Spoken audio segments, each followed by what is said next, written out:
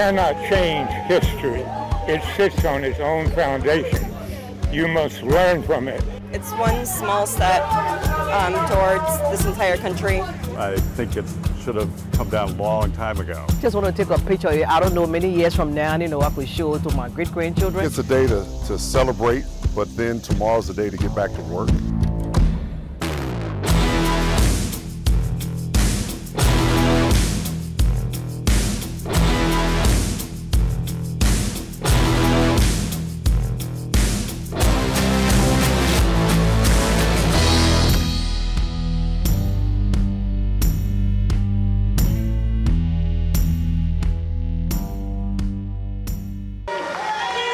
Erected in 1890 in a tobacco field in Richmond. Now, 131 years later, the largest Confederate statue in the United States, standing in the middle of Monument Avenue, has been dismantled. Thanks for joining us here at midday. I'm Cheryl Miller. The removal of the Robert E. Lee statue marks a major moment for the city of Richmond, the Commonwealth of Virginia, and for our country. We have in depth coverage for you. CBS 6's Cameron Thompson talked to local and state leaders about today's event. First, our Matthew Foltz has been on Monument Avenue since early this morning, even before the removal crews arrived. And Matthew, this is an emotional moment for many on both sides of the removal issue. Just before 9, several hundred spectators and journalists watch as a crane lifts the 12 ton bronze statue off the granite pedestal. Cheers and applause echo through the fan district as this divisive symbol comes down. Tear it down, there it is! Send that traitor to his grave! Let's go! Let's go! Get it out of there! The state originally told us to expect an all day event to remove this massive statue. I guess the guy that's doing it is pretty good at it now. Crews then cut the statue in half at Lee's waist to help safely transport the monument to secure storage at a state owned facility and out of the former capital of the Confederacy. I got here about 7 o'clock. Preparation and timing scored Reginald Carter a front row seat to history. It was definitely emotional and it was surreal. And to me, it was a, a, a prophecy fulfilled of John Mitchell, uh, who was the editor of the Richmond Planet newspaper that was founded, you know, here in Richmond, 1882 by 13 free slaves. He said that, you know, the black man was here to put up the monument. And when that time comes, the black man will be here to see it removed. The 12 ton bronze statue of General Lee was put up in 1890 when historians say white Southerners began erecting Confederate memorials, intimidating structures of the Lost Cause narrative.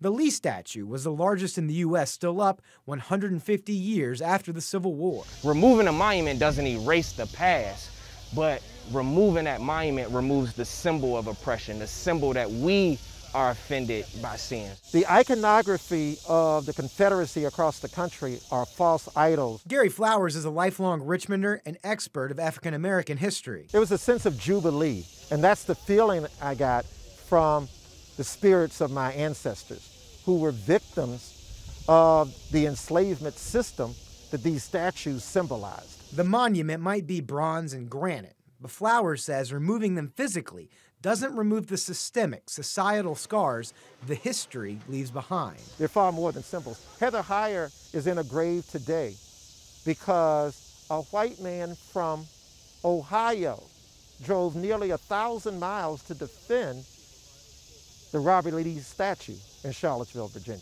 It's a symbolic alleviation of, of generational pain, but it should be a light of a path going forward. It is our individual choice and our institutional charge to now eradicate systemic racism in this country. A day that will live in history as the nation's largest remaining Confederate statue is hoisted from its pedestal and removed from Richmond's Monument Avenue. But just blocks away from the action, In the big picture, this was helping us all cheer seeing the statue come down. neighbors like Michael Larkin say the process to get here has been less than ideal for residents. Over a year, over a year. Um, you would think in that time that somebody would ask, oh, what about the residents? Larkin's home is beyond this tape on West Gray Street. He says while he knew, based off signs posted Friday, he wouldn't be able to park here, he didn't know it would be like this. There are a lot of people on this street and all along West Gray Street that are not as able, right, as I am or other people are. Let's Let's I've lived here uh, for 48 years. On Tuesday night, Rex Scudder says he and his neighbors came home from the Squirrels game to find tape up, police telling them they couldn't walk down the sidewalk. They, they said you need to go to the back, except that uh, my neighbors don't have any access from the back uh, that they could use. They're disabled, they can't go in that back gate. 15 minutes later, Scudder says police ended up letting them through, and by Wednesday, residents were allowed to walk in and out. But he says there's still a lot of confusion. We don't know what's going to happen with the, with the trash or the recycling, which is both are due tomorrow. CBS 6 also spoke with a person who came to the street with a package delivery Wednesday, unsure if they could cross the tape. We supported removing the monument. We uh, and we really appreciate the police uh, looking out for us and keeping us safe. But somewhere in this process, the communication broke down.